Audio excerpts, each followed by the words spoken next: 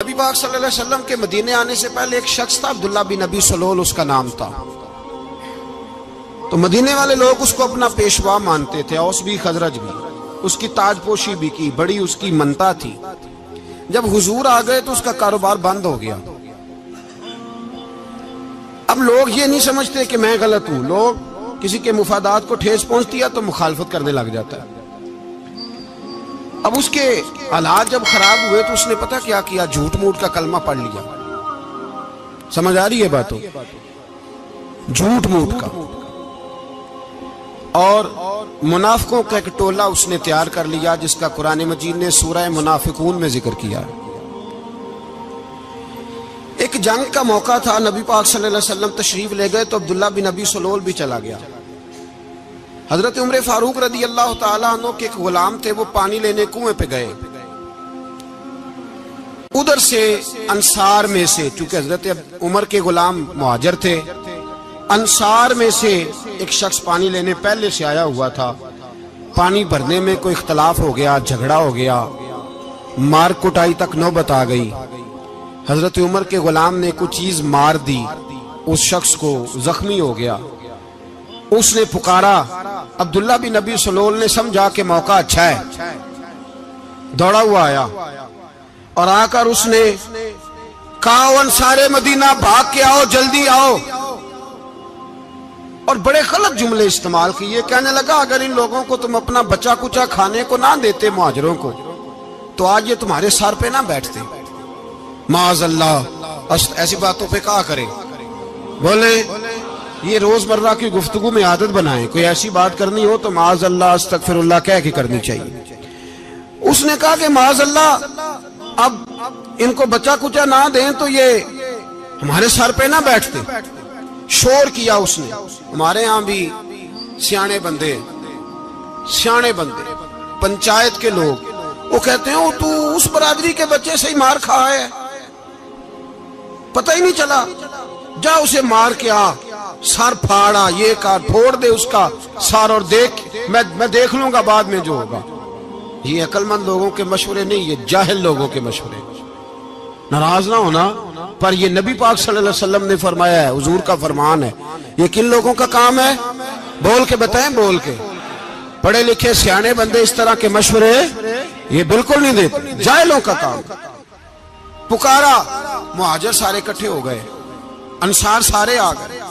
और जब अंसार आए तो मुहाजरीन को भी पुकारा, मुहाजर भी आ गए। अब वो गुत्थम गुत्था होने लगे तो किसी ने जाके महबूब पाक के कान में कहा यार वहाँ तो मुहाजर अंसार लड़ने लगे। वो पुरानी लड़ाइयाँ फिर से जाग गई हैं। नबी पाक तशरीफ़ लाए, हजूर ने वहाँ लफ्ज बयान किए। फिर मैं ये तुमने क्या जाहिलों जैसा काम शुरू किया हुआ है? ये कौन सा काम है? अल्लाह करे, हम सब इस काम से बाज आ जाए। आमीन तो कहना। और तू उस बरादरी के मुंडे कोई मार खाए? बरादरी क्या होती है? बरादरी तो तारुफ के लिए। ऊंच नीच कहाँ से आ गई? कहा मेरे रसूल पाक अलैहिस्सलातु सलाम फरमाया, तुम जाहिलों जैसे काम कर रहे हो? सुलह कराई, बात रफा दफ़ा कराई। लोग चले गए, मामला ठंडा हो गया।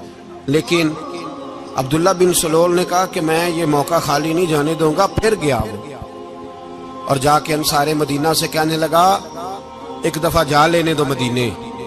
तुमने मेरी बात नहीं ना सुनी? तो जो वहाँ बड़े सरदार बैठे हैं, उनसे बात करूँगा। और माज अल्लाह सुम्मा माज अल्लाह हम इन बेइज्जत लोगों को मदीने से निकाल देंगे, वहाँ सिर्फ़ इज़्ज़त वाले रहेंगे। ये गलत जुमले उसने अदा किए, जिसको कुरान पाक ने सूरह मुनाफिकून में बयान फरमाया उसने ये बात की। एक सियाबी थे, हज़रत जैद रदी अल्लाह तला वो सुन रहे थे। आके अर्ज़ की, या रसूल अल्लाह अलैहि अब्दुल्ला बिन नबी सलोल तो इस तरह कह रहा है कि मदीने जाके इज़्ज़त वाले दूसरों को निकाल देंगे और तुम अगर अपना बच्चा इन्हें ना देते तो माज अल्लाह आज ऐसा ना करते। हज़रत उमर ने भी सुन लिया। हज़रत उमर ने बात सुन ली। तलवार निकाली और दौड़े। हजूर ने बाजू पकड़ा फर मैं किधर जा रहे हो? का यारसुल्ला अगर आज सजा ना दी तो कल और बात भी करेगा। और अगर आज एक कत्ल हो गया तो बाकी सियाने बन जाएँगे। या रसोल्ला मुझे छोड़े, मैं मारूँगा। हुजूर ने फरमाया, उमर, चुप कर। वो झूठ मूठ का कलमा पड़ता है। लोग कहेंगे कि मोहम्मद इबन अब्दुल्ला ने अपने साथी मारने शुरू कर दिए। चुप कर, हौसला कर, सबर कर, दलेरी कर। हज़रत उमर कहते हैं, मेरी हुजूर के कहने पर मैं ठहर तो गया, पर वो मेरे अंदर जो आग लगी हुई थी, ठंडी नहीं हो रही। कहते मैं चुप तो कर गया। नबी पाक सलाम ने पूछा, अब्दुल्ला बिन नबी सलोल से तूने ये कहा है? कहने लगा, आशा वकल्ला मैंने बात ही नहीं की। ना? अब लोग कहने लगे कि जैद तो नौजवान है तो ये बूढ़ा आदमी है, चलो। सही कहता होगा, हुजूर भी खामोश हो गए। अल्लाह पाक ने कुरान मजीद नाजल फरमा दिया। फरमाया, अल्लाह ने सुन ली उनकी बात जिन्होंने ये कहा है। और फिर लफ्ज बड़े हसीन है, फरमाया, ये कहते हम इज़्ज़त वाले हैं? नहीं वलिल्ला इज़्ज़त। वले रसूल ही वलिल फरमाया, इज़्ज़त तो अल्लाह के पास है, अल्लाह के रसूल के पास है, और इज़्ज़त तो मोमिनों के पास है। मोमिनीन के पास इज़्ज़त है। ये कुरान पाक ने सारा मजमून बयान कर दिया कि अब्दुल्ला बिन नबी सलोल गलत कहता है, और हज़रत जैद सही कहते हुजूर ने कुछ नहीं फरमाया, जा रहा है काफिला। जब मदीने की सरहद आ गई ना हदूद मदीना मुनवरा की शुरू हुई तो अब्दुल्ला का अपना बेटा, उसका नाम भी अब्दुल्ला बिन अब्दुल्ला था। अपना बेटा उसका बड़ा मुखलिस, जानिसार गुलाम था मेरे रसूल पाक वसल्लम का। वो तलवार लेके मदीने की हद पे खड़ा हो गया और कहने लगा मेरे बाप, तूने इतनी बेईमानी के लफज कहे कि मैं इनको निकाल दूँगा? कह अपनी ज़ुबान से कि मैं जिल्लत वाला हूँ, रसूल पाक को अल्लाह ने बड़ी इज़्ज़त अता फरमाई। कह वरना मैं तेरी गर्दन काट दूँगा। बोल। कह हुजूर भी इज़्ज़त वाले और नबी पाक के गुलाम भी इज़्ज़त। कह अपनी ज़ुबान से कह मेरे रब का ये फरमान है वारफा ना अल्लाह का ज़िक्र अभी मैं खुद तेरे लिए तेरी शानों को बुलंद फरमा दूँगा। तो कहा कह।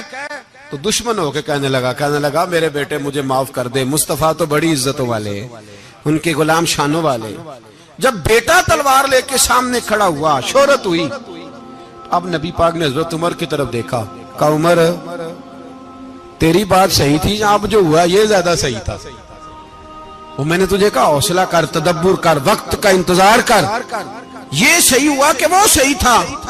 तो जो तुमरे फारूक कहने लगे, या रसूल अल्लाह मैं गवाही देता हूँ, आप वाकई अल्लाह के सच्चे रसूल है।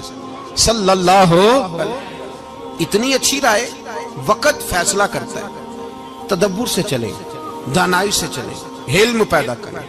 बुरदबारी, हमें कई दफ़ा सजदा साफ़ करना पड़ता है। हम जो कहते हैं, बात उसके उल्ट निकल आती है। हम किसी शख्स के बारे में कुछ तबसरा कर बैठते हैं। कुछ अरसे के बाद हमें पता चलता है कि वो तो ऐसा था ही नहीं, हमने गलत बात कर हम बगैर तहकीक के, बगैर तफ्तीश के, हौसला ना होने की वजह से, सबर ना होने की वजह से, हम बहुत सारे काम कर गुजरते हैं, फिर हमें नुकसान होता है। अपनी ज़िंदगी में हिल्म ना छोड़े, हौसला ना, लड़ाइयाँ होती है ना घरों में। उसकी वजह खामद होता है, बीवी नहीं होती। ये बात घर जाके बताना कि आज उन्होंने कहा है। लड़ाई की वजह कौन होता है? ना बोलो तुम पर मैं तो आख ही छड़िया वो तो रिकॉर्ड हो गया लड़ाई की वजह कौन है? हाँ जेडे बातें लड़ते ने कूदे ही नहीं पे वजह कौन बनता है जी? क्यों भला? इसलिए कि नबी पाक सल्लल्लाहु अलैहि वसल्लम ने फरमाया, औरत की अगल आदि है। तो तेरी तो पूरी है ना। जिसका मतलब है, लड़ाई अगर बच सकती थी तो मर्द की वजह से बच सकती थी। घर में अमन हो सकता था। कहते हैं जी बड़ी बेवकूफ़ है, मेरी सुनती नहीं। तो मैंने कहा, जो उससे बहस कर रहा है, वो सियाणा है? बोले, जो बहस कर रहा है, वो अकलमंद है। बंदा तो चलो था वो दानश्वर, शेक्सपियर। बातें बाजत उसकी कुछ ऐसी हैं। उसने, उससे किसी ने पूछा था औरतों से कौन जीत सकता है बहस में? तो उसने कहा, था वो जो उनसे बहस ना करे।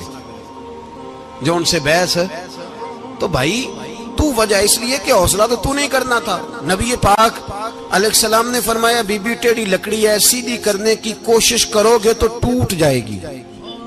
सीधी तो फिर कितना बेवकूफ़ है जो पत्थर से सर रगड़ रहा है। कितना नादान है। जो ये हरकत कर रहा है, दरिया में छलांग लगा के कहता डूबूँगा नहीं। तो भाई, हौसला पैदा कर, हिल्म पैदा कर। बहुत सारी ऐसी बातें करेगी जिसमें इश्तेहाल आएगा, फटाफट तीन लफज तलाक के दे दिए। अब भागा गया मुफ्ती साहब के पास। ओहो, चार बच्चों का क्या बनेगा? और ये बात पक्की है कि बच्चों को सिर्फ़ उनकी माँ ही पाल सकती है। उनकी माँ। और बात मुझे नहीं भूलती। एक शख्स ने बीवी को तलाक दे के दूसरी शादी की। उसका बेटा था दस साल का। उसने अपने बेटे से कहा कि, बेटे, बता, पुरानी अम्मा सही थी या ये सही है? उसने कहा, नहीं अब्बा, वो तो झूठ बड़े बोलती थी, ये सही है। वो झूठी थी। वो झूठ बड़े बोलती थी, मेरी सगी अम्मा, ये सच बोलती है। उसने कहा, वो कैसे? कहने लगा, इसलिए कि मैं कोई शरारत करता था तो मेरी सगी अम्मा मुझे थप्पड़ मारती थी और कहती थी, तुझे रोटी नहीं देनी। जा दौड़ जा घर से।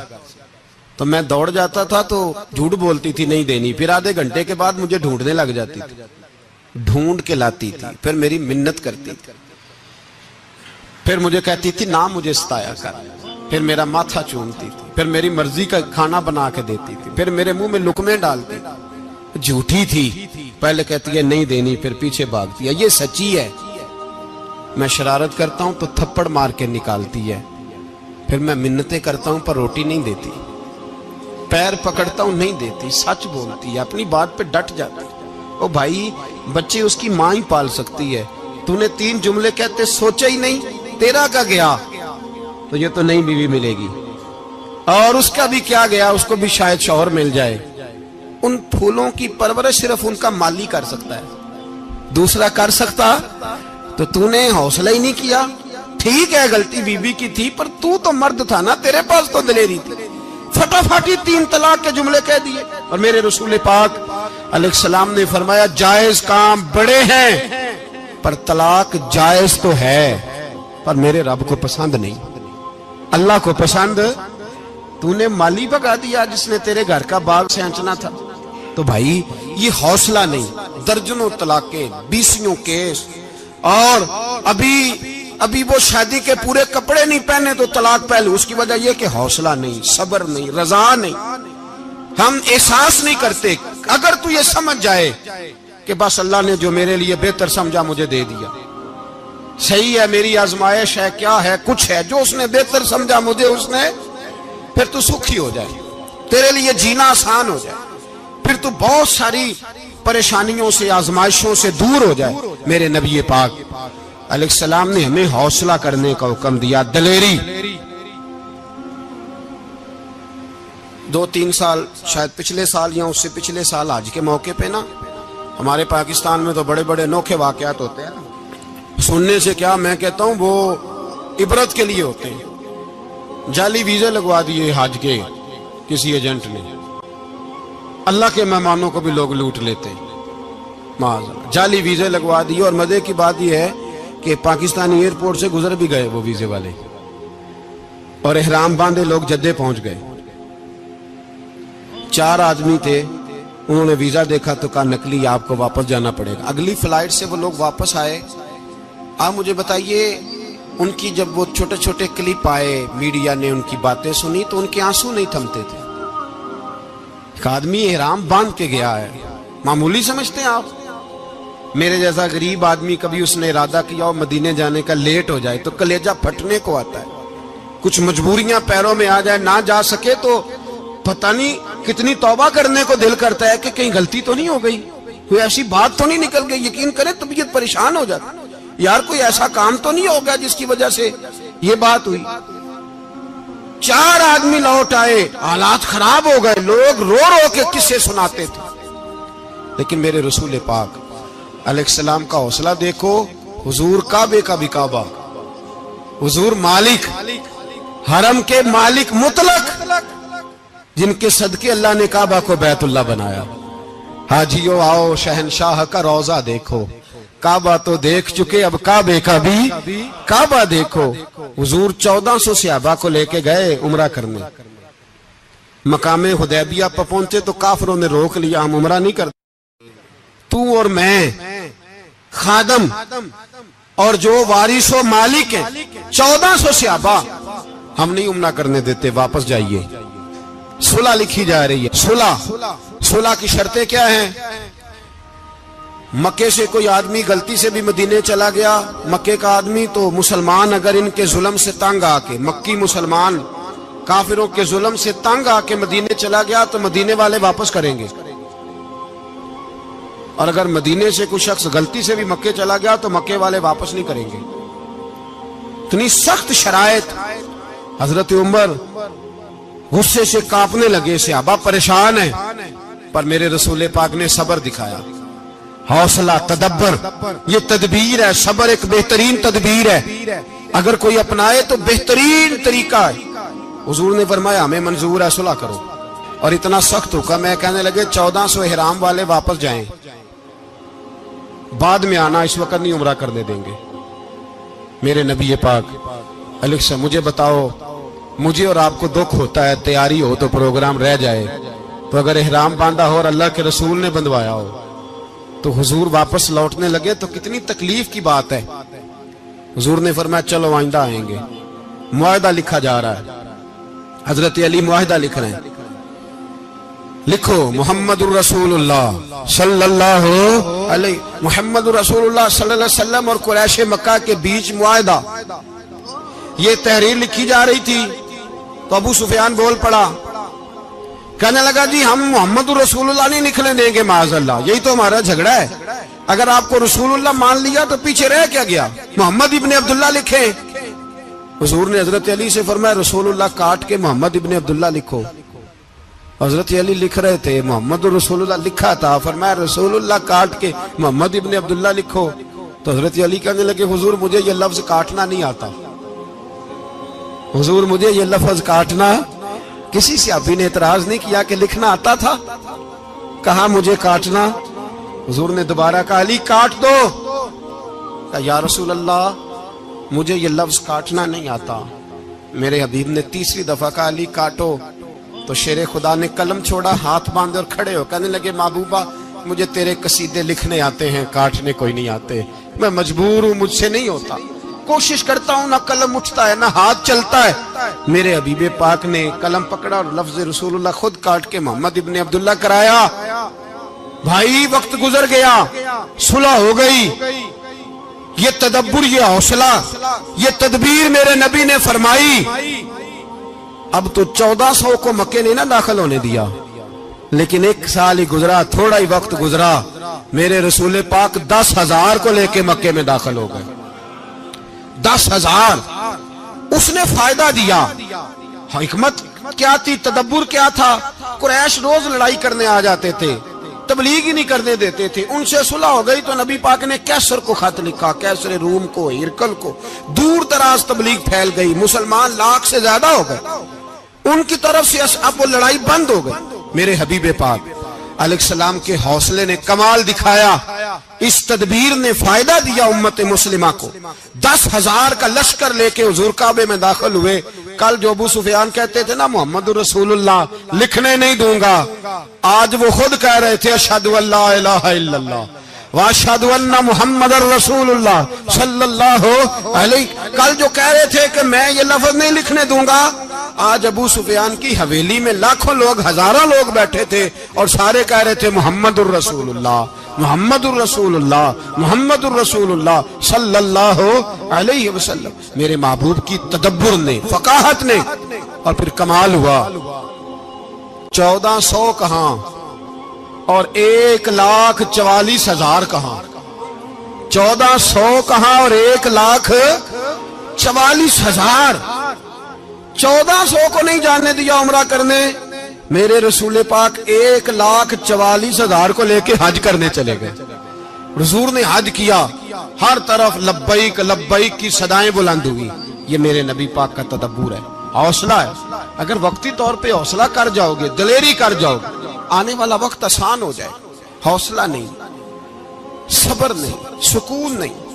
दो चार बातें, यहाँ तक के लोग अब्बा जी की बात बर्दाश्त नहीं करते। ऐसे जुमले कह देते हैं जो दोबारा पलट के नहीं आते, माँ को लफज नहीं बोलते बाप की रूह तक छलनी कर देते हैं वो जुमले। लेकिन लोग उस वक्त हौसला करने, और हम पंजाबी लोगों ने तो गुंजाइश ही बड़ी दे दी है। कहते बच्चा है जे एक ही है, एक वे हौसला करे, की है? माशाल्लाह। तो अगर जवान हो गया तो कहते हैं गर्म खून है। मुक्का कब अगर बूढ़ा हो गया तो कहते हैं बूढ़ों में हौसला नहीं होता। ना बच्चे में, ना ना। तो किसमें हौसला होगा? बोले। किसी में भी नहीं। छुट्टी। सबको फतवा मिल गया ना, ये बच्चा है जी, अभी ये तो बच्चा है। आप तो सियाने आने हैं, ये बच्चा है। कमाल हो गई है भाई। क्या मतलब है बच्चा? है बच्चे को सारा पता है, हर चीज़ उसे आती है। हौसला करना ही नहीं आता। और फिर कह दिया, वो तो गर्म खून है। वो क्या बात करते हो? गर्म खून? अब्बे के गले पड़ गया, गर्म खून, इसको खड़ा करो ना एसपी के सामने। और इसको को मार थप्पड़ उसके मुँह पे। तेरे गर्म खून का पता चले। गरीब के ये गले पड़ गया इसको खड़ा करो एसओचओ के सामने। फिर पता चलेगा खून कितना गर्म है। वहाँ बिल्कुल चुप है। बिल्कुल खामोश है। और गर्म खून इसका सिर्फ़ अम्मा के लिए? जलाल सिर्फ़ रह गया, अगर गरीब घर की बेटी ब्याह के लाया तो सिर्फ़ उसके लिए। कोई ऐसी बात नहीं, हम बड़े सियाने, हमारा गुस्सा बड़ा समझदार है। हमारा वो गर्म खून बड़ा सियाना है। वो जहाँ देखता है कि मामला हल्का है तो वहाँ वो गर्म खून जलाल में। और जहाँ देखता है कि सामने वाला तगड़ा है तो वहाँ वो गर्म खून फ़ौरन ठंडा हो जाता है। हौसला पैदा करे। ज़िंदगी हौसलेमंद लोग जीते। जो हौसलेमंद नहीं होते, वो तो ज़िंदगी का एक साल लुत्फ से नहीं जी पाते। हौसला करें, मुस्कुराएँ मेरे नबी पाक। सल्लल्लाहु अलैहि वसल्लम ने ना, उस्मान बिन तलहा काबे काबे की चाबी उनके पास होती थी। हुजूर ने एक दिन फरमाया, उस्मान अच्छा ये नहीं था कि उस्मान खास खास लोगों को चाबी काबा खोल के दिखाते थे, बल्कि उनको कुरैश की जानिब से ये हुक्म था कि जो भी तुझे कहे, तूने काबे का दरवाज़ा खोल देना। नबी पाक सलाम ने ना हिजरत से दो चार दिन पहले कहा कि उस्मान जरा चाबी दो, मैंने काबा अंदर से देखना है। बड़े ठंडे दिल से जरा सुनना, इधर देखो मेरी तरफ़। इधर देखिएगा जरा मेरे भाई। मैंने एक बंदे से कहा, यार, पानी की बोतल देना दुकानदार से। एक है उसने कह दिया, नहीं मेरे पास। इस बात का कोई गुस्सा? बोलिए। और अगर वो कहे, सारे जमाने को मिलेगी, आपको नहीं देनी। फिर बोले बोले मेरा ख्याल है चुप करके हंस के आ जाएँगे। सवाल ही नहीं पैदा होता। हम कहेंगे, मुझे नहीं ना देनी तूने तो दुकान उठा यहाँ से। बंद कारी से क्या मतलब है? सबको देनी है, तुझे नहीं देनी। क्या मान है इसका? लेके जाऊँगा, झगड़ा होगा। बहस करेंगे। उस्मान बिन तला से हजूर ने फरमाया, दरवाज़ा खोलो। काबा देखना है उस्मान कहने लगा, मैं सारी दुनिया को दिखाऊँगा, आपको नहीं दिखाऊँगा। कितनी सख्त बात है। पर कुर्बान जाए रसूलुल्लाह के हौसले पे। सल्लल्लाहु उस्मान कहते हैं, मैंने ये बात की तो नबी पाक मुस्कुराने लगे। और मैं अच्छा नहीं देनी? नहीं देनी। तो जूर ने ना मुस्कुरा के और मेरी कमर पर थपकी दी फिर मैं अच्छा याद रखना। ये चाबी मैं तुझसे ले लूँगा। और जिसको मेरा दिल करेगा, मैं उसको दूँगा। उस्मान कहते हैं, रोज रात को नबी पाक के ये जुमले मेरे कानों में गूंजा करते थे। गूंजते थे कि हजूर ने फरमाए कहते हैं, जिस दिन पता चला ना, नबी पाक दस हज़ार का लश्कर लेके आ रहे हैं। तो अबू सुफियान मीटिंगें कर रहे थे, मक्के के सारे सरदार तैयारी कर रहे थे और मेरे कानों में एक ही लफज था कि हजूर ने फरमाया, मैं चाबी ले लूँगा। फिर जिसको मैं चाहूँगा, उसे उसे दूँगा। उस्मान कहते, हद हो गई, वक्त गुजर गया। हुजूर आ गए। तवाफ फरमाया। और तवाफ के बाद मेरे नबी पाक सलाम ने फरमाया बुलाओ ना जरा उस्मान को उस्मान कहते हैं मैं चाबी लेके आया तो दूसरा जुमला कोई नहीं साढ़े ना कोई बंदा मशवरा देवे ओदी ना ना मनीए ते जे काम मुंज हो जे ना जे जो ने मशवरा दिता सी ਤੇ ਉਹ ਨਾਲ ਹੀ ਗੌਸ ਪਾਕ ਬਣ ਜਾਂਦਾ ਹੁੰਦਾ ਤੈਨੂੰ ਆਖਿਆ ਸੀ ਨਾ ਫੌਰਨ ਹੀ ਦਾਤਾ ਵਾਲੀ ਜਵੇਰੀ ਹੋ ਜਾਂਦਾ ਉਹ ਕਹਿੰਦਾ ਤੈਨੂੰ ਪਤਾ ਨਹੀਂ ਮੈਂ ਕਿੱਡਾ ਵਲੀ ਅੱਲਾ ਤੈਨੂੰ ਮੈਂ ਆਖਿਆ ਸੀ ਮੈਂ ਇੰਜ ਨਾ ਕਰ और बंदा परेशान होता है, काम उल्ट हो गया। और लागू आखी जाता वेखो जी मैं तो तुम ही आखिया अजीब बात है शेख चिली की तरह पीछे पड़ जाएगा मैंने तो पहले ही कहा था ओ बस कर यार अब तू खाजा मोइनुद्दीन अजमेरी हो गया बस कर मशवरा मशवरा ही होता है किसी का मिल जाता है और किसी का नहीं लिया जाता फौरी तौर पे बंदा उठ के ना तो विलायत की चौथी सीढ़ी पे चढ़ जाएगा कहेगा मैं तो अब दाले वक्त हूँ मैं कुतबे दोहराऊ मैंने तुझे कहा नहीं था बस कर यार कई दफ़ा मशवरे सही होते हैं, कई दफ़ा सही। बोलिए, नबी पाक सल्लल्लाहु अलैहि वसल्लम की ओहद के दिन ख्वाहिश ये थी कि अंदर रह के लड़ना है। जवान से अबा ने कहा, बाहर जाके लड़ाई करनी है। हजूर ने बाहर जाके जान की। बजाहर मुसलमानों को शिकस्त हुई। हजूर ने एक दफ़ा नहीं कहा कि मैंने तुम्हें कहा, नहीं था, अंदर रहना है। बस हो गया जो हो गया। अब उसमें फटाफट अगले को हौसला दो, कोई अर्ज़ नहीं, यार। नबी ये पाक, सब बोलिए, सल्लल्लाहु वसल्लम। मेरे हबीब पाक। सलाम ने ना कहा उस्मान को बुलाओ। उस्मान आए तो उस्मान कहते मैंने चाबी दी तो मैं तैयार था। मैं तैयार था कि अब मेरी बात होगी और रुसवाई होगी। लेकिन कहते हैं कुर्बान जाए मुस्तफ़ा ने तो यह जुमला भी नहीं कहा कि मैंने तुझे कहा नहीं था। यह भी नहीं कहा। हजूर ने चाबी ली काबे के बुत साफ़ किए।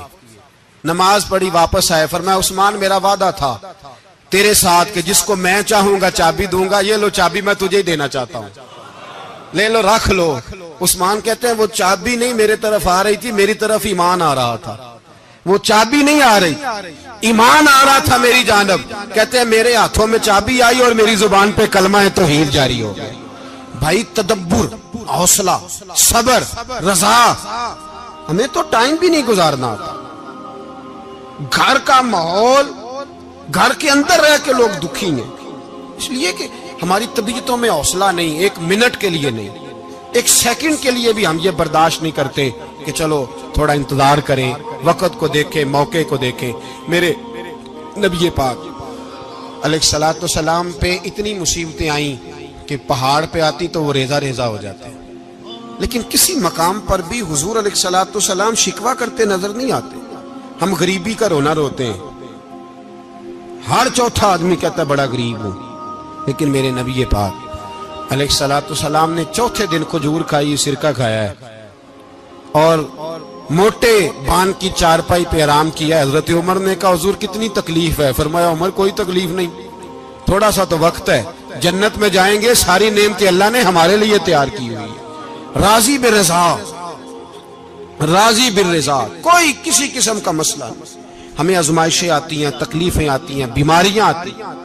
लोग छोटी छोटी बात पर छोटी छोटी बात पर परेशान हो जाते जरा जरा सी बात पर शिकवा करते हैं।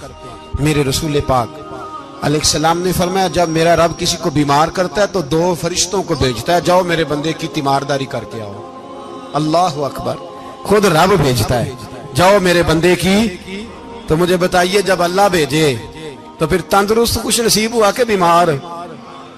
जी, तंदुरुस्त, फिर खुश नसीब कौन हुआ? मेरे नबी पाक सल्लल्लाहु अलैहि वसल्लम ने फरमाया, रब दो फरिश्ते भेजता है। फरमाता पता करके आओ मेरे बंदे का, उसका क्या हाल है? हालाँकि अल्लाह सारा ही जानता है, फरिश्ते आते हैं, वापस जाते हैं, रब करीम पूछते हैं, बताओ मेरा बंदा क्या कहता था? अल्लाह तुझे सारा ही पता है, पर हमसे पूछते तो बता देते हैं। वो ये कहता था कि मैं अपनी रब की रजा पे बड़ा ही राज़ी हूँ। वो तेरी हमद कर रहा था, तेरी तारीफ़ कर रहा था, तेरा शुक्र कर रहा था। तेरे लिए कलीमाते हमद बयान कर रहा था। तो मेरे नबी पाक सलाम फरमाते, अल्लाह फरिश्तों से फरमाते है, सुनो फिर, अगर मैं अपने बंदे को इस बीमारी में शिफा दूँगा तो उस तंदुरुस्ती से ज़्यादा अच्छी तंदुरुस्ती दूँगा जो पहले इसे अता की हुई थी। पहले से अच्छी सेहत दूँगा, और अगर इसे इस बीमारी में मौत दूँगा तो फिर मरते ही इसके लिए मैं जन्नत का फैसला फरमा दूँगा। भाई, जब तू राज़ी बिररेजा रहता है, राज़ी बिररेजा, बड़ी सादी सी बात है भाई। आप घर गए, रोटी मांगी। तो अगर किसी ने कहा ना कि इतनी थकावट है, टाइम पे आया करें, इस वक्त तो रोटी तो वो भी मिल गई। पर उसमें लज्जत, वो सुकून नहीं। वो सुकून नहीं। मेरी अम्मा जी सालन पका के रख लेती थी। तो रोटी जब भी कोई माँगता था तो ताजी बना के देती थी। उनकी तबीयत थी। तो मैं अक्सर उनसे कहता कि अम्मा जी पका के रख दिया करो। तो कहते, तुम्हें खुशी नहीं होती जब तुम्हारी अम्मा ताजी पका के देती है? खुशी खुशी होती है। तबीयत में खुशी होती है। उनका मिजाज था, जौक था तो हम समझते थे।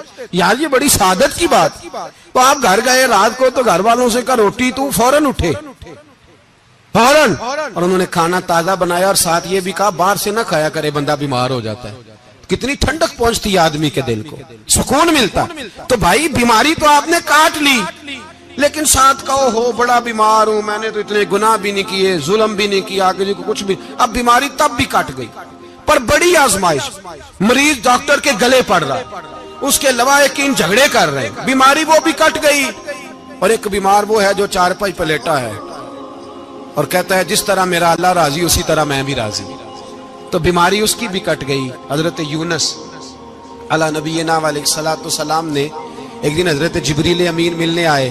तो जनाब यूनस सलाम कहने लगे, ए जबरील, अल्लाह के नेक बंदों में जो अल्लाह को इस वक्त सबसे ज़्यादा पसंद है, नबियों के बाद जो करना बात पर, जो सबसे ज़्यादा अल्लाह को पसंद है, नबियों के बाद, वलियों में, और सबसे ज़्यादा अल्लाह जिसको अल्लाह की बारगाह में इबादत गुजार लिखा जाता है, मेरी उस बंदे से मुलाकात करा तो हज़रत जबरील ने जनाब यूनस सलाम को साथ लिया तो एक शख्स के पास पहुँचे जो आँखों से अंधा था।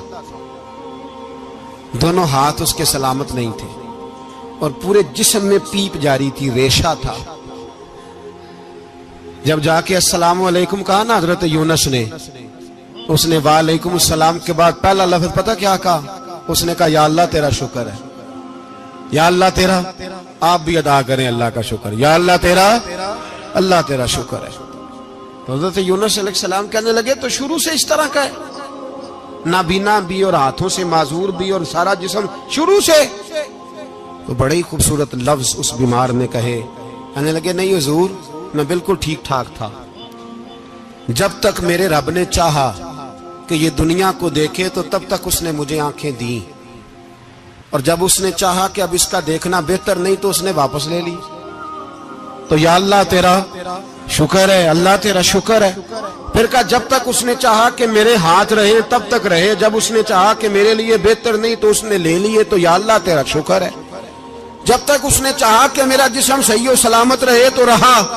और जब उसने चाहा कि मेरे लिए बेहतर नहीं तो मुझे बीमार कर दिया तो या अल्लाह तेरा शुक्र है तो हज़रत यूनस कहने लगे, जबरील वाक्य ये अल्लाह का सबसे ज़्यादा शुक्र गुजार बंदा है। सबसे ज़्यादा इबादत गुजार बंदा है, सबसे ज़्यादा। मेरे नबी पाक सलाम ने फरमाया, मेरा मोमिन हर हाल में ही नफे में है।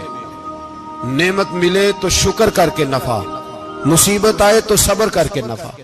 अपनी ज़िंदगी में तहमुल बुरदबारी, इल्म पैदा करे। हौसला पैदा हर आने जाने वाले शख्स के मिजाज के मुताबिक उसे ना मिले। अपना मिजाज सही रखे। अपनी तबीयत के मुताबिक अपने माहौल को बरकरार रखे। हिल्म के साथ गुजारा करोगे तो रिश्तेदारों से भी बनी रहेगी। दोस्तों से भी बनी रहेगी। हर एक से ताल्लुक रहेगा। और अगर आपके अंदर ये हौसला नहीं तो फिर सारे मामला परेशानी का शिकार हो जाएँगे। ये तो आज का मजमून था। हमें ना लोग मशवरा देते हैं, कहते हैं, पीर साहब, दरवेशों को सियासत की बात नहीं करनी चाहिए। देते हैं ना मशवरा लोग? जी थोड़ा थोड़ा बोल दें थोड़ा थोड़ा देते हैं ना? हम अगरचे हम उनकी बात नहीं मानते, इसलिए कि इकबाल ने कहा था, जुदा हो दी सियासत से तो रह जाती है चंगेजी।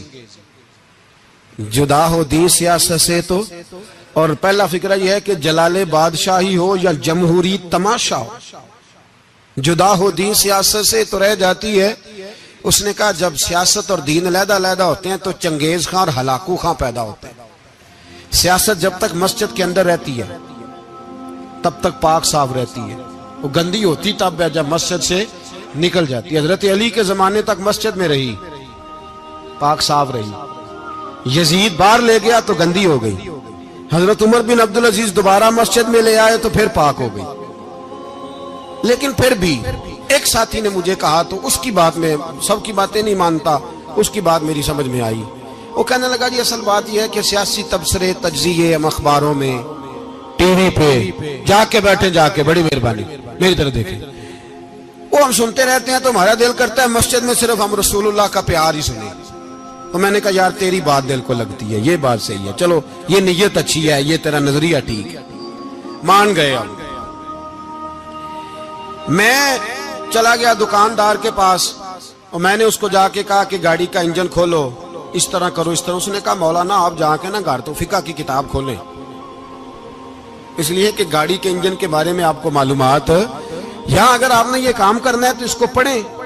किसी उस्ताद के पास वर्कशॉप पे आए, आपके हाथों को, मुँह को, चेहरे को, मिट्टी लगे, धुआँ लगे, ग्रीस लगे, फिर आपको पता चलेगा इंजन कैसे खोलता है। सही कह रहा हूँ? नहीं सही कह रहा? दुआ गल हाँ कर छड़ी जे सही कह रहा हूँ जी अगर मौलवी को इजाज़त नहीं सियासत की बात करने की और मौलवी को इजाज़त नहीं कि इंजन की बात करे तो सियासतदान को इजाज़त है दीन की बात करने की यहाँ तो वो आए ना मदरसे में पढ़े पूरा दीन हासिल करे फिर वो बोले तो फिर तो ठीक हो गया लेकिन जब उसे सूरत इखलास भी सीधी नहीं आती तो फतवे देने की उसको ज़रूरत है कोई बोले ना यार, क्यों छेड़ते हैं सियासत? हम ना पिछले जुमे जुलूस निकालना चाह रहे थे, खत्म नबूवत की तरमीम के हवाले से।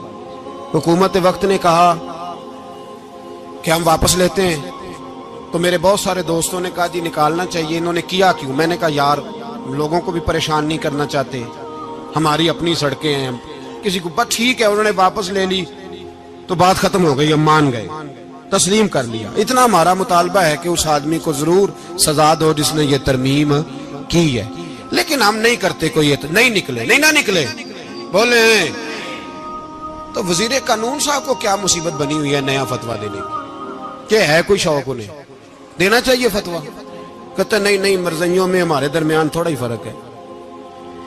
मुझे यूँ लगता है कि ये जानबूझकर कोई ना कोई ऐसी शरारत करते हैं जिससे लोग इश्तेहाल में रहे। जानबूझ हिलम हौसला, सबर जात के बारे में तो है। लेकिन अगर कोई रसूल पाक की बेदबी करे तो फिर हौसले की बात वो है ही नहीं फिर।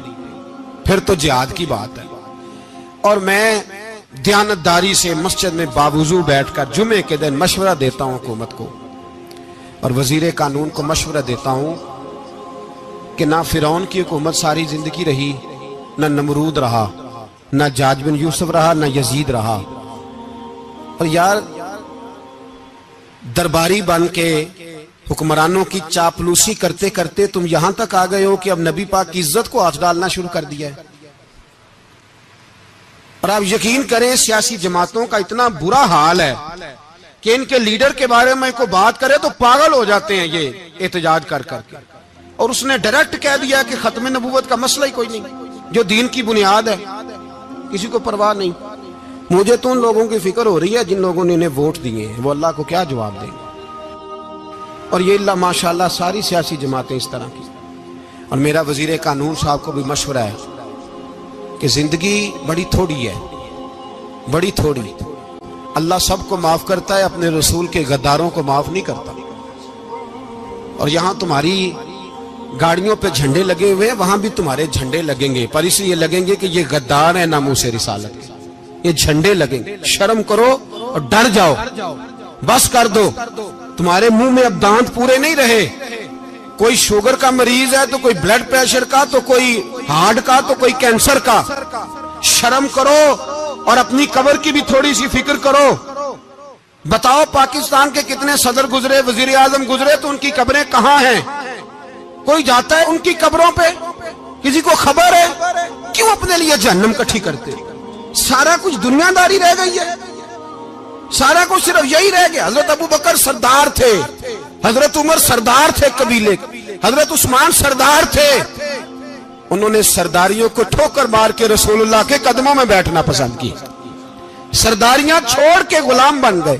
तुम सरदारियाँ बचाने के लिए रसूलुल्लाह की गद्दारी करते हो? शर्म नहीं आती? और कौम शिकवा है मुझे।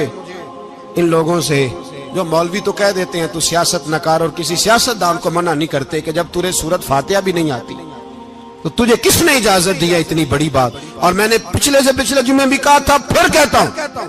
और आंधी रिकॉर्ड कहता हूँ, मरजई कल भी काफर थे। आज भी काफर और कयामत तक और जो उनके कुफर में शक करे वो भी और पक्का बेईमान है, काफर है। वो वज़ीर कानून हो या सुबाई हो या विफाकी हो, मन शक्का फ़ी कुफर ही फकत कफर। जो मरजई के कुफर में शक करे वो भी काफर है। हमारे रसूल आखिरी रसूल है।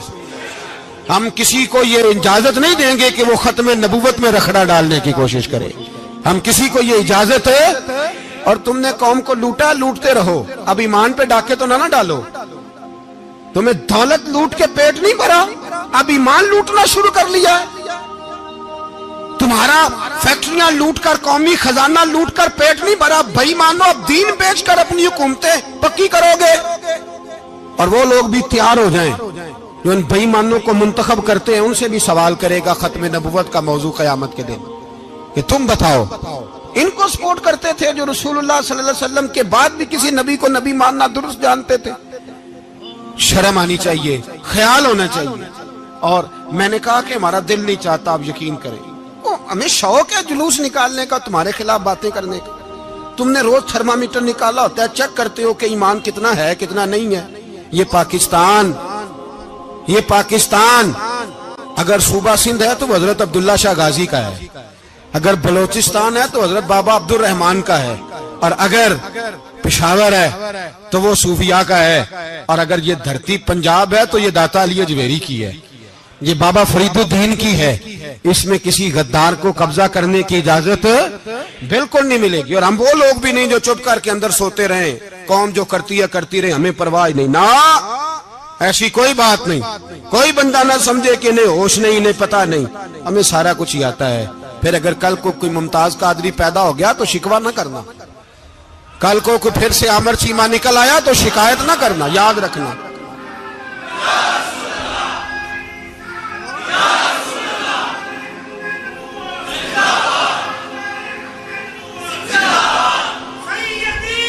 तो मेरे भाई, खोल के बोले, या नबी, रसूल के वो तो ये मशवरा।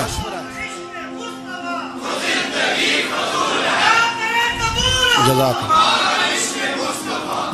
तो ये तुम्हें मशवरा है।